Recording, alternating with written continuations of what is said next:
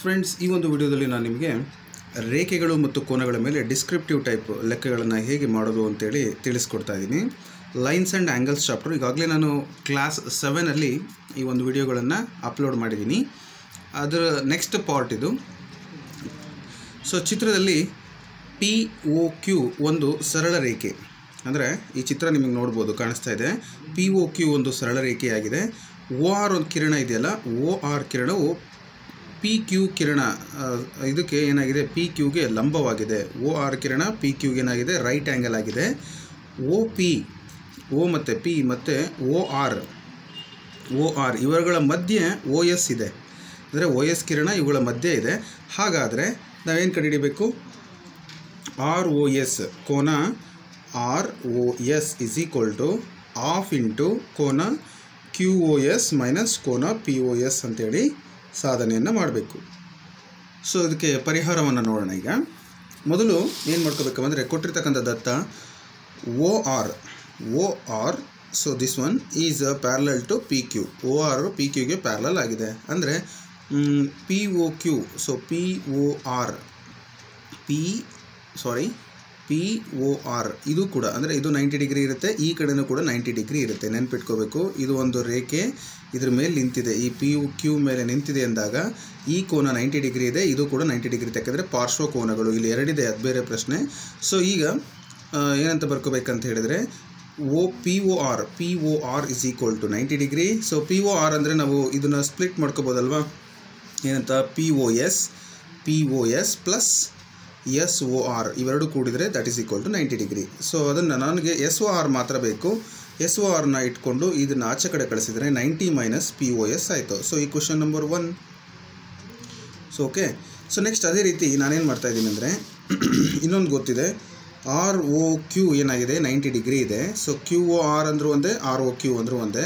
So that is equal to ninety degree ಅಂದರೆ ನನಗೇನು ಮಾಡ್ತಾ ಇದ್ದೀನಿ ಅಂದರೆ ಕ್ಯೂ ಓ ಎಸ್ ಅಥವಾ S O Q total angle ಅಂತಂದು ಕಂಡುಹಿಡಿಯಬೇಕಪ್ಪ ಅಂತ ಹೇಳಿದ್ರೆ ಈ ಆ್ಯಂಗಲ್ಲು ಮತ್ತು ಈ ಆ್ಯಂಗಲ್ಲು ಕೂಡಿದರೆ ನಮಗೆ S O Q ಸಿಗುತ್ತಲ್ವಾ?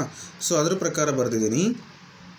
S O Q is equal to angle S O R plus R O Q so ಇದು ಮತ್ತು ಇದು ಎರಡು ಕೂಡಿದರೆ ಟೋಟಲ್ ಆ್ಯಂಗಲ್ ನಮಗೆ ಸಿಗುತ್ತೆ ಅಂತೇಳಿ. ಒಂದಾಗಲೇ ನಮಗೆ ಗೊತ್ತು, ಅದು ನೈಂಟಿ ಡಿಗ್ರಿ ಅಂತ.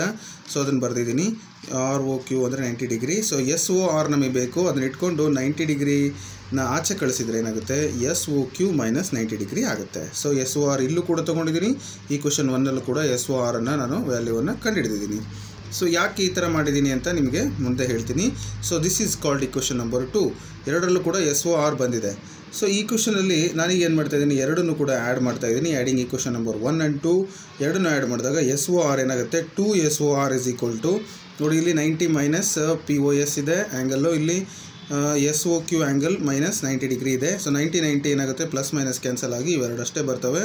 ಸೊ ಇವೆರಡು ಬಂದಾಗ ಇಲ್ಲಿ ಮೈನಸ್ ಇರೋದ್ರಿಂದ ಇದನ್ನು, ಇದನ್ನ ಈ ಕಡೆ ಬರ್ಕೊಂಡು, ಇದನ್ನ ಈ ಕಡೆ ಬರ್ಕೊಂಡಿದ್ದೀನಿ. ಈ ಟೂ ಏನಾಗುತ್ತೆ? ಡಿನಾಮಿನೇಟ್ರಲ್ಲಿ ಬರುತ್ತೆ. ಸೊ ಇದರ ನೆಕ್ಸ್ಟ್ ಸ್ಟೆಪ್ ಏನಾಗುತ್ತೆ ನೋಡೋಣ. ಸೊ ಈ ರೀತಿ ಬಂದಿದೆ. ನಮಗೆ ಆ್ಯಂಗಲ್ ಎಸ್ ಒ ಆರ್ ಅಷ್ಟೇ ಬೇಕು. ಅಂದರೆ ಇದನ್ನು ಆಚೆ ಕಳಿಸಿದಾಗ ಟು ಒನ್ ಬೈ ಟು ಆಗುತ್ತೆ. Angle S O Q minus angle P O S so ಇದನ್ನೇ ನಮಗೆ ಸಾಧಿಸಿ ಅಂತೇಳಿ ಕೇಳಿದರು.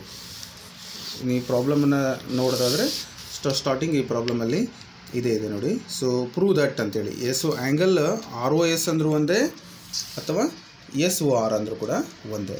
ಸೊ ಈ ವಿಡಿಯೋನ ರಿವ್ಯೂ ಮಾಡಿ ಮತ್ತೊಂದೇ ನೋಡ್ಕೊಳ್ಳಿ. ಈ ಥರದ ಡಿಸ್ಕ್ರಿಪ್ಟಿವ್ ಟೈಪ್ ಪ್ರಶ್ನೆಗಳು ಸಾಕಷ್ಟು ಪರೀಕ್ಷೆಗೆ ಹೆಲ್ಪ್ ಆಗುತ್ತೆ.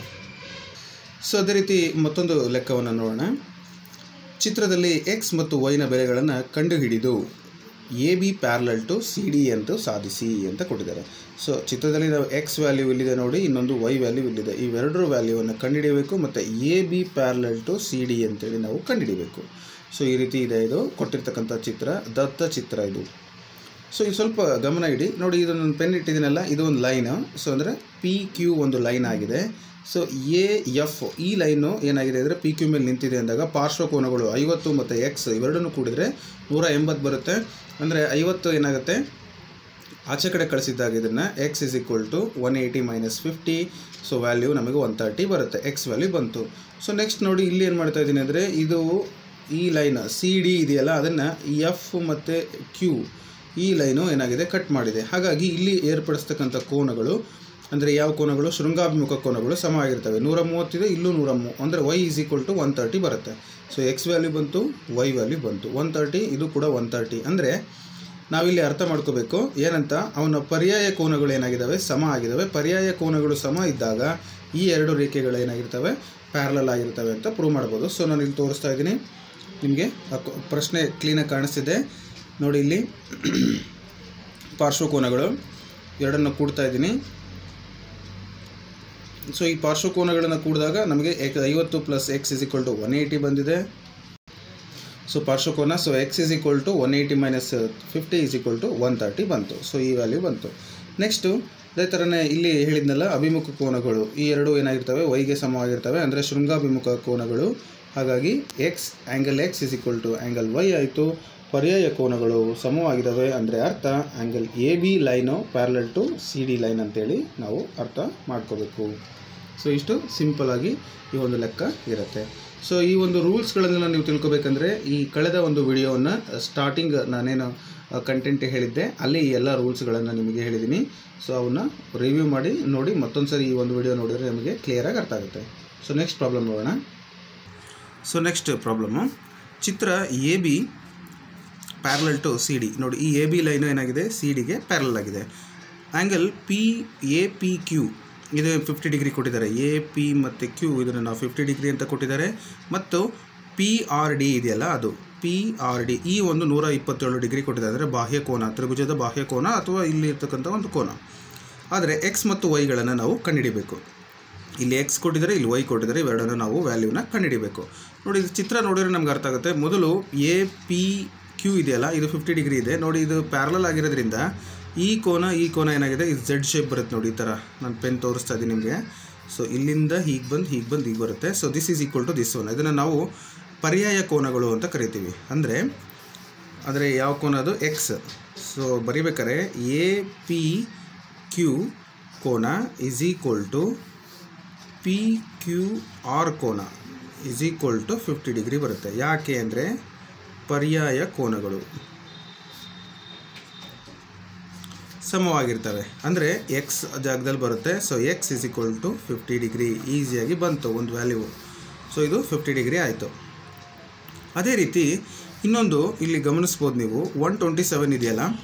ಸೊ ಈ ಒನ್ ಟ್ವೆಂಟಿ ಸೆವೆನ್ ಏನಾಗಿದೆ ಅಂದರೆ ಇದೊಂದು ತ್ರಿಭುಜ ಅಂತ ನೀವು ಕನ್ಸಿಡರ್ ಮಾಡೋದಾದರೆ, ತ್ರಿಭುಜದಲ್ಲಿ ಒಂದು ಬಾಹುವನ್ನು ವೃದ್ಧಿಸಿದಾಗ ಬರುವಂಥ ಹೊರಕೋನ ಏನಾಗಿರುತ್ತೆ? ಹೊರಕೋನ ಒನ್ ಟ್ವೆಂಟಿ ಸೆವೆನ್ ಇದೆಯಲ್ಲ ದ್ಯಾಟ್ ಈಸ್ ಈಕ್ವಲ್ ಟು ಒಳ ಅಭಿಮುಖ ಒಳಕೋನಗಳ ಮೊತ್ತಕ್ಕೆ ಸಮನಾಗಿರುತ್ತೆ. ಅಂದರೆ ಎಕ್ಸ್ ಪ್ಲಸ್ ವೈ ಇದು ಮತ್ತು ಇದು, ಅವುಗಳ ಮೊತ್ತಕ್ಕೆ ಸಮನಾಗಿರುತ್ತೆ. ಇದು ಕೂಡ ರೂಲ್ಸ್ ಸ್ಟಾರ್ಟಿಂಗ್ ಕಳೆದ ವಿಡಿಯೋದಲ್ಲಿ ನಿಮಗೆ ತಿಳಿಸ್ಕೊಟ್ಟಿದ್ದೀನಿ. ಸೊ ಇದ್ರ ಪ್ರಕಾರ ಎಕ್ಸ್ ವ್ಯಾಲ್ಯೂ ಈಗಾಗಲೇ ನಮಗೆ ಬಂದಿದೆ. One twenty seven is equal to fifty plus Y so ನಮಗೆ ವೈ ವ್ಯಾಲ್ಯೂ ಬೇಕಂದರೆ one twenty seven minus fifty ಅಂದರೆ one twenty seven minus fifty ಅಂತ ಹೇಳಿದರೆ ಎಪ್ಪತ್ತ ಏಳು ಸೊ ವೈ ವ್ಯಾಲ್ಯೂ ಎಪ್ಪತ್ತೇಳು ಬಂತು. ನಮಗೇನು ಕೇಳಿದ್ರು ಪ್ರಾಬ್ಲಮ್ಮು ಎಕ್ಸ್ ಮತ್ತು ವೈ ಬೆಲೆಯನ್ನು ಕಂಡುಹಿಡೀರಿ ಅಂತ. Therefore X is equal to fifty Y is equal to seventy seven degree so ಎರಡು ಕೂಡ ನಮಗೆ ಉತ್ತರ ಬಂದಿದೆ. ಲೆಕ್ಕವಿದೆ ಒಂದು ಪ್ರಾಬ್ಲಮ್ ನೋಡೋಣ. ಚಿತ್ರದಲ್ಲಿ ತ್ರಿಭುಜ P Q R P Q R ಇದರಲ್ಲಿ ಏನಾಗಿದೆ ಅಂತ ಹೇಳಿದ್ರೆ ಬಾಹುಗಳಾದ ಕ್ಯೂ ಪಿ ಮತ್ತು ಆರ್ ಕ್ಯೂ ಕ್ಯೂ ಪಿ ಮತ್ತು ಆರ್ ಕ್ಯೂ ಆರ್ ಕ್ಯೂ ಇವೆರಡು ಈ ಬಾಹುಗಳನ್ನು ಏನು ಮಾಡಿದೆ ಅಂದರೆ ವೃದ್ಧಿಸಿದ್ದಾರೆ ಕ್ರಮವಾಗಿ ಎಸ್ ಮತ್ತು ಟಿ ಬಿಂದುಗಳವರೆಗೆ, ಇದನ್ನು ಎಸ್ ವರೆಗೆ ಮತ್ತು ಇದನ್ನು ಆರ್ ಕ್ಯೂವನ್ನು ಟಿವರೆಗೆ ಏನಾಗಿದೆ? ವೃದ್ಧಿಸಿದೆ ಸೊ ಹಾಗಾದರೆ ಇದರ ಹೊರಕೋನ ನೂರ ಮೂವತ್ತೈದು ಇದರ ಹೊರಕೋನ ನೂರ ಹತ್ತು ಡಿಗ್ರಿ ಆಗಿದೆ, ಬಂದಿದೆ. ಹಾಗಾದರೆ ನಮಗೆ ಆ ಪಿ ಆರ್ ಕ್ಯೂ ವ್ಯಾಲ್ಯೂ ಬೇಕು. ಅಂದರೆ ಪಿ ಆರ್ ಕ್ಯೂ ಈ ಒಂದು ಕೋನವನ್ನು ನಾವೇನು ಮಾಡಬೇಕು? ಕಂಡು ಹಿಡಿಬೇಕು. ತುಂಬ ಸಿಂಪಲ್. ಹೇಗೆ ಅಂದರೆ ಹೊರಕೋನ ನಾನು ಆಗಲೇ ನಿಮಗೆ ಹೇಳಿದ್ದೆ. ಹೊರ ಕೋನಗಳ ಮೊತ್ತ ಉಳಿದೆರಡು ಕೋನಗಳ ಮೊತ್ತಕ್ಕೆ ಸಮನಾಗಿರುತ್ತೆ ಒಂದಾದರೆ ಇನ್ನೊಂದು ಏನಪ್ಪ ಅಂತ ಹೇಳಿದ್ರೆ ಈ ಹೊರ ಕೋನ, ಇಲ್ಲಿ ಒಂದು ಇದನ್ನು ಲೈನ್ ಅಂತ ನಾವು ಕನ್ಸಿಡರ್ ಮಾಡಿದರೆ ಎಸ್ ಪಿ ಕ್ಯೂ ಒಂದು ಲೈನ್ ಆದರೆ ಎಸ್ ಪಿ ಕ್ಯೂ ಒಂದು ಲೈನು, ಅದರ ಮೇಲ್ಗಡೆ ಆರ್ ಪಿ ನಿಂತಿದೆ ಅಂತ ಹೇಳಿದಾಗ ಇವೆರಡು ಏನಾಗ್ತವೆ? ಪಾರ್ಶ್ವಕೋನಗಳಾಗ್ತವೆ. ಇವುಗಳ ಮೊತ್ತ ನೂರ ಎಂಬತ್ತು ಡಿಗ್ರಿ ಇದನ್ನು ಕಂಡುಹಿಡಿಬೋದು. So one eighty minus one thirty five you will get one value and next ಇದು ಒಂದು ಸರಳ ರೇಖೆ, ಅಂದರೆ ಆರ್ ಕ್ಯೂ ಟಿ ಅದರ ಮೇಲೆ ಪಿ ಕ್ಯೂ ನಿಂತಿದೆ. ಇದು ಇದು ಪಾರ್ಶ್ವಕೋನಗಳು, ಇವೆರಡನ್ನು ಕೂಡ ಕೂಡುವುದರೆ ಒನ್ ಏಯ್ಟಿ ಬರುತ್ತೆ. So one eighty minus one ten we get this value ಇದು ಕೂಡ ಸಿಕ್ಕಿದೆ, ಇದು ಕೂಡ ಸಿಕ್ಕಿದೆ. ಇದನ್ನು ಆರಾಮಾಗಿ ಕಂಡುಹಿಡಿಬೋದು. ಹೇಗೆ? ತ್ರಿಭುಜದಲ್ಲಿ ಮೂರು ಒಳಕೋನಗಳ ಮೊತ್ತ ನೂರ ಎಂಬತ್ತಾಗಿರುತ್ತೆ. ಇದು ಇದು ಗೊತ್ತಿರುತ್ತೆ, ಇದನ್ನು ಆರಾಮಾಗಿ ನಾವು ಕಂಡುಹಿಡ್ಬೋದು. ಲೇಟೆಸ್ಟ್ ಟ್ರೈ ನಾನು ನಿಮಗೆ ಈಗ ಐಡಿಯಾ ಕೊಟ್ಟಿದ್ದೀನಿ. ಈಗ ಅದನ್ನು ಫಾಸ್ಟಾಗಿ ಮಾಡೋಣ. ಸೊ ಮೊದಲಿಗೆ ನಾನು ಹೇಳಿದೆ, ಪಾರ್ಶ್ವಕೋನದ ಬಗ್ಗೆ ಹೇಳಿದ್ದೆ. ಪಾರ್ಶ್ವಕೋನ ಯಾವುದಾಗಿರುತ್ತೆ ಅಂತ ಹೇಳಿದ್ರೆ ಎಸ್ ಪಿ ಆರ್ ಪ್ಲಸ್ ಇನ್ನೊಂದು ಇದು Q P R Q P R is equal to one eighty ಪಾರ್ಶ್ವಕೋನಗಳು. ನಾನು ಅದನ್ನು ಬರೆಯಲ್ಲ. ನೆನ್ಪಿಟ್ಕೊಳ್ಳಿ. ನೀವು ಬರೀಬೇಕು ಪರೀಕ್ಷೆಯಲ್ಲಿ. ಸೊ ಪಾರ್ಶ್ವಕೋನಗಳು ಇದು ಒನ್ ತರ್ಟಿ ಫೈವು ಪ್ಲಸ್ ಇದು ಗೊತ್ತಿಲ್ಲ. Q P R is equal to one eighty ಅಂದರೆ ಕ್ಯೂ ಪಿ ಆರ್ ಒನ್ ಏಯ್ಟಿಯಲ್ಲಿ ಕಳೆದ್ರೆ ಏನಾಗುತ್ತೆ? One eighty minus one thirty five you will get forty five degree ಅಂದರೆ ನಮಗದು ನಲವತ್ತೈದು ಡಿಗ್ರಿ ಬಂತಿದು. ಅದೇ ರೀತಿ ಇಲ್ಲಿ ಕೂಡ ಪಾರ್ಶ್ವಕೋನ ಅಲ್ವಾ? ಅದರಲ್ಲಿ ತೊಗೊಂಡ್ರೆ ಏನಾಗಿರುತ್ತೆ? ಇವೆರಡನ್ನು ಆ್ಯಡ್ ಮಾಡೋದು. R Q P R Q P plus P Q T is equal to one eighty degree ಇದು ಕೂಡ ಪಾರ್ಶ್ವ ಕೋನ. ಕೂಡಿದಾಗ ಇದು ಒಂದು ಗೊತ್ತಿಲ್ಲ. ಆರ್ ಕ್ಯೂ ಪಿ ನಮಗೆ ಗೊತ್ತಿಲ್ಲ. ಪ್ಲಸ್ ಇದು ಗೊತ್ತು. ಎಷ್ಟಿದೆ ಇದು? Sorry one one zero degree ಇದೆ. Is equal to one eighty so ಅಂದರೆ ಏನಾಗಿತ್ತು? R Q P is equal to one eighty minus one one zero degree ಅಂದರೆ ನಮಗೆ ಇಲ್ಲೇ ಗೊತ್ತಾಯಿತು. ಸೆವೆಂಟಿ ಡಿಗ್ರಿ ಇದು ಎಷ್ಟು ಬಂತಿದ್ದು ಸೆವೆಂಟಿ ಡಿಗ್ರಿ ಈಗ ಎರಡು ಕೋನ ಸಿಕ್ಕಿದೆ. ಇನ್ನೊಂದನ್ನು ಆರಾಮಾಗಿ ಕಂಡುಹಿಡಿಬೋದು. ತ್ರಿಭುಜದ ಒಳಕೋನಗಳ ಮೊತ್ತ.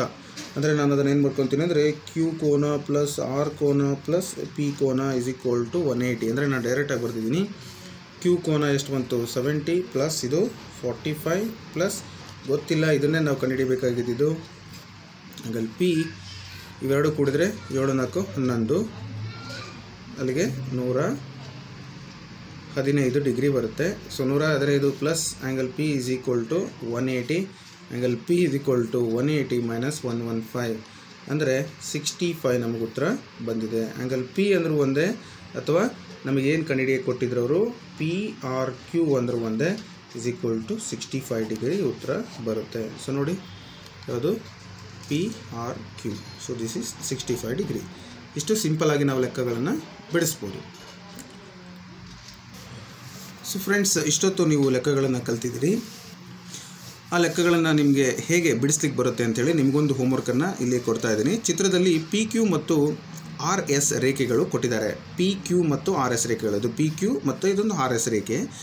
ಟಿ ಬಿಂದುವಿನಲ್ಲಿ ಛೇದಿಸಿದವು. ಇಲ್ಲಿ ಅವು ಏನಾಗಿದ್ದಾವೆ ಇಂಟರ್ಸೆಕ್ಟ್ ಆಗಿದ್ದಾವೆ ಹಾಗಾದರೆ ಇಲ್ಲೊಂದು ಕೋನ ಕೊಟ್ಟಿದ್ದಾರೆ ನೋಡಿ. ಇದು ನಲವತ್ತು ಡಿಗ್ರಿ, ಈ ಕೋನ ಕೊಟ್ಟಿದ್ದಾರೆ ತೊಂಬತ್ತೈದು, ಇದು ಕೊಟ್ಟಿದ್ದಾರೆ ಎಪ್ಪತ್ತೈದು.